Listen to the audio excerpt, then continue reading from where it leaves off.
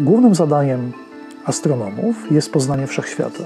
Podobnie jak to miało miejsce e, kilka wieków temu, w celu poznania, eksploracji e, naszej Ziemi konieczna była dobra mapa. Żeby mapa była użyteczna, trzeba mieć bardzo dokładnie e, wyznaczoną skalę. My zajmujemy się naniesieniem właśnie takiej skali na kosmiczną mapę, którą tworzą astronomowie.